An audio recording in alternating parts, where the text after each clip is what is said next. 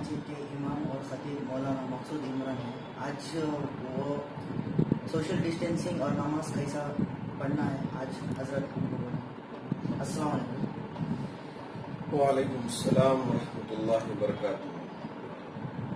जैसा कि आपने कहा कि इंशाअल्लाह आठ जून से मसाजिद को, चर्चों को, मंदिरों को और गुरुद्वारों को खोलने का मजहबी इबादत गाहों को खोलने का हुकूमत हिंद की तरफ़ से ऐलान हुआ है।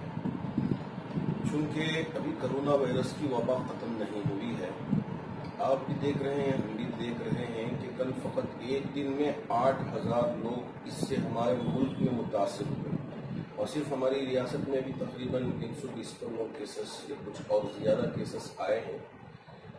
ऐसे में हमारी क्या ज़िम्मेदारी बनती है? एक शहरी होने के नाते।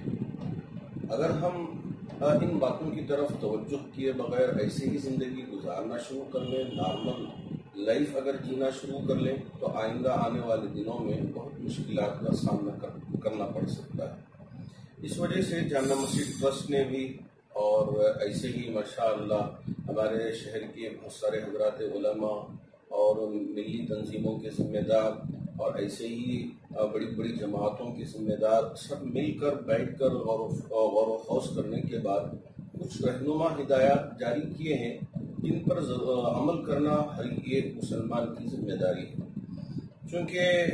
दो तीन, दो, ढाई महीनों के बाद इन मस्जिद खुलने जा रही हैं तो जब हम मस्जिद में दाखिल हो रहे हों तो सबसे पहले इस बात का ख्याल रखें कि एक ही दम सबके सब मिलकर एक दूसरे से लग के उसके अंदर न जाए, दाखिल न हो, बल्कि सोशल डिस्टेंस समाजी जो फासिला है, उस फासिले का लिहाज रखकर अंदर दाखिल दाखिल होने के बाद मसाजिद की कमेटियों की ज़िम्मेदारी है कि पहले हैंड वॉश जो लिक्विड मिलता है सैनिटाइजर भी रखें या सैनिटाइजर से बेहतर ये है कि सोप क्योंकि सोप में एक आदमी अगर इस्तेमाल करता है तो दूसरा आदमी भी वही इस्तेमाल करे।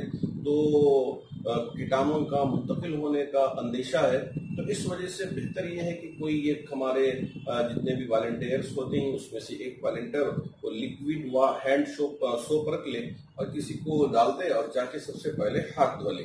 तो ये हाथ धो लेंगे तो एक बहुत बड़ी परेशानी से हम बच जाएँगे। उसके बाद वज़ू कर, वज़ू तो घरों पर करके आए, बेहतर यही है। अगर मजबूरी है घर पर नहीं कर पाए या आए गए हैं मस्जिद तो ऐसे अहबाब के लिए वज़ू का इंतज़ाम यहाँ रहेगा फकत उन लोगों के लिए। और ऐसे ही इस्तिंजा खाना भी और बैतुल खला ये सब बंद रहेंगे। घर बदरजे मजबूरी हो तो ऐसी सूरत में उसका इस्तेमाल होगा। ऐसे ही क्योंकि बाज मसाजिद में हाउस भी हैं, जहाँ आप एक आदमी हाथ डाल के पानी लेता है तो फिर उसी दूसरा आदमी भी हाथ डालता है तो जरासीम के मुंतकिल होने का अंदेशा रहता है तो इस वजह से मसाजिद की कमेटियाँ और हमारे हज़रत उलमा सबने मिलकर ये फैसला लिया है कि हाउस को भी बंद कर दिया जाए। सिर्फ़ नलों का वो भी आर्जी तौर पर यानी जो सख्त इमरजेंसी हो। बाहर से वज़ू करके ना आए हो तो ऐसे लोगों के लिए। बैतुल खला के बारे में बैतुल खला भी बंद रहेगा अगर इमरजेंसी है अगर किसी शख्स को बहुत सख्त हाजत पेश आई है ऐसे लोगों के लिए इस्तेमाल के लिए इजाज़त रहेगी। अब अंदर आने के बाद ऐसा ना हो कि हम बहुत लंबे देर वक्त के लिए मस्जिदों में अपना वक्त गुजारें। इसलिए कि मस्जिद में एक जगह इकट्ठा रहना मुनासिब नहीं है। तो जैसे ही फ़र्ज़ नमाज़ आपने अदा कर लिया तो आप बाहर निकल जाएँ। इसका भी आप जहन में बिठा कर रख लें बात को। और ऐसे ही यहाँ आप हमारी मस्जिद का आपने अभी होगा कि एक आदमी से दूसरे आदमी के दरमियान तकरीबन तीन फीट का फासिला है। और ऐसे ही आप एक मुसल्ली से दूसरे मुसल्ली के दरमियान में स्ट्राइक का जो फासला है, वो आठ फीट का है। क्योंकि स्ट्राइक का फासला ग्रास का नहीं बोल रहा हूँ स्ट्राइक क्योंकि दरमियान में हम एक जगह खाली रख लिए हैं तो एक सफ चार फीट की होती है तो आप दूसरे सफ के लिए आठ फीट का फासला, एक आदमी से दूसरे आदमी के दरमियान स्ट्रेट फासला बाकी रहेगा। अगर इस तरह का फासला हम बरकरार रख लेते हैं तो एक सफ भी खत्म नहीं होगी। हर सफ के दरमियान में हमने जो मार्क लगाया है, आप उसको जरा अच्छी तरह से देख लें। तो इससे लोग दूर दूर भी रहेंगे और एक दूसरे के दरमियान में समाजी फासला भी बरकरार रहेगा। चूँकि हम मसाजिद से ज़्यादा देर तक और लंबी मुद्दत तक दूर नहीं रह सकते। अब अल्लाह ने मौका दिया है और ये हुकूमत की तरफ़ से भी इजाज़त है तो इसलिए अब डरने की भी ज़रूरत नहीं है, न खौफ खाने की ज़रूरत है। लेकिन मस्जिद के अंदर की जो कैपेसिटी है, इतने ही लोग अंदर जाएँगे। ये नहीं है कि पूरे एकदम घुस गए हैं, या चलो इमाम साहब नमाज़ पढ़ा दीजिए और मसाजिद की कमेटियों पे हम दबाव डालें, या नहीं हम सब मिलके ही नमाज़ पढ़ेंगे। नहीं नहीं। जो उसूल तय किए जा रहे हैं, उन उसूलों का लिहाज रखना हर एक मुसली की ज़िम्मेदारी और ऐसे ही मसाजिद की कमेटियों की तरफ़ से ऐलान हो रहा है कि आप मास्क पहनकर आए मास्क पहने बगैर मस्जिद में ना, इसलिए कि एक जगह सब लोग जमा होंगे तो एक दूसरे के मुँह से जो निकलते हैं, सांस की वजह से तो इससे भी हम अपने आप को बचा के रखना चाहिए। तो मास्क पहनकर ही मस्जिद में दाखिला लें, ताकि हम अपने भी हिफाजत करें और दूसरों को भी हम महफूज रख सकें। जुम्मा की मस्जिद के बारे में क्या कहना है, एक जमात बनेगी या दो जमात? हजरात उलमा के दरमियान में इस सिलसिले में बहस मुबासा होने के बाद चूँकि आम दिनों में जुमा की जो अजमत है, एक मरतबा आदमी आए तो उसकी अजमत बाकी रहेगी। एक से दस जमातें हों तो ऐसी सूरत में जुमा की जो वक़्त है, वो खत्म हो जाएगी। इसलिए हज़रत उलमा फरमाते हैं कि एक मस्जिद में एक ही जुमा होना चाहिए। लेकिन ये वबा की सूरत है। ये बीमारी के फैलने की सूरत है। तो इस वजह से हज़रत ने पूरे गौर व खौस करने के बाद ये मस, इन दिनों का मसला अलग रहेगा। इस वजह से अगर ज़रूरत पेश आती है दूसरी जमात बनाने की दूसरी जमात भी बनाई जाएगी। अगर तीसरी जमात बनाने की ज़रूरत पेश आएगी तो तीसरी जमात भी इंशाला बनाई जाएगी। तो जितनी ज़रूरत होगी जहाँ जहाँ जिन मोहल्लों में जिन इलाकों में उस हिसाब से अगर एक जमात ही काफ़ी है तो एक जमात हो जाएगी। तो जो भी ज़रूरत होगी, इंशाल्लाह क्योंकि ये फकत आप याद रखें कि ये ये वबा की सूरत में इस तरह का ऐलान हो रहा है कि एक से ज़्यादा भी अगर जमातें। तो इसको आम दिनों के साथ अगर हम बाद में जोड़ लेंगे कि देखो, उस वक्त पढ़ रहे थे, पढ़ रहे थे, फिर और आम दिनों में पढ़ लेंगे तो भी क्या हो जाएगा? देखो देखो। तो ये ये पहले ही से जहन में बिठा के रख लें कि इस्लाम में ईद की नमाज़ का भी जो तरीका था जो घरों में भी नहीं पढ़ना चाहिए आम दिनों में, और हत्या की मस्जिदों में भी नहीं पढ़ना चाहिए, ईदगाह में पढ़ना चाहिए। क्यों? इसलिए कि नमाज़ पढ़ने का हुक्म दिया था। मस्जिदों में भी कौन पढ़ेंगे?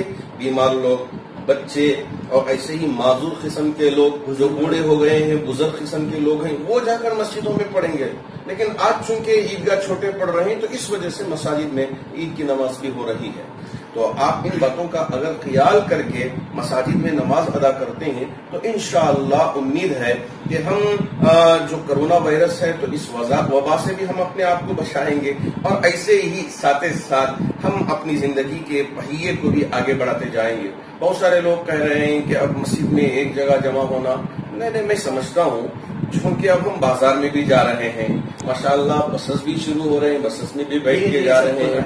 ये सारी चीज़ें अब पूरी ज़िंदगी की पटरी जो है, लाइन पे आ रही है। और ये फकत मस्जिदों के लिए नहीं है, हुकूमत का ऐलान। ये मजहबी मकाम जितनी भी हैं, इबादत गाह हैं, उन सब के लिए हुकूमत का ये फैसला है। तो इसलिए किसी तरह का कोई दबाव जहन में हमको रखना नहीं चाहिए।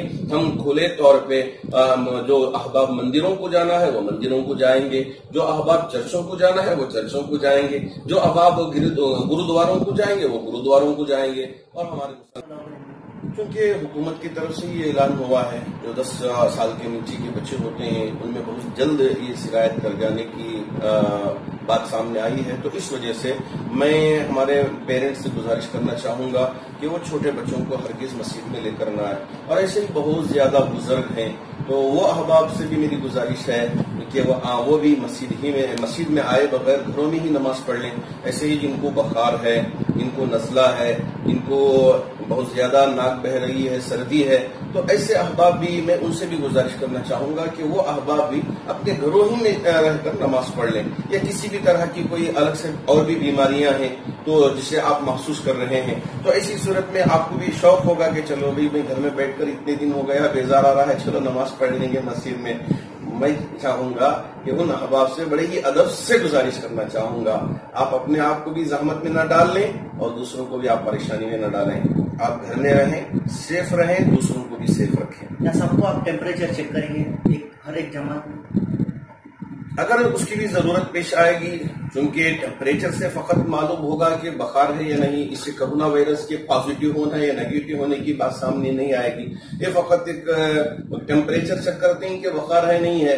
तो अगर उसकी भी ज़रूरत पेश आएगी, ट्रस्ट उसके तरह, उसके सिलसिले में भी इंतज़ाम करेगा। क्योंकि यहाँ अंदर आने से पहले आपने सदर दरवाजे में देखा कि एक सैनिटाइजर टनल बना रखा गया है कि मुसलियों को उसके अंदर से गुजरना होगा। अब जैसे ही वो गुजरेंगे तो पाक होते इंशाला आ जाएँगे, सैनिटाइज होकर आ जाएँगे।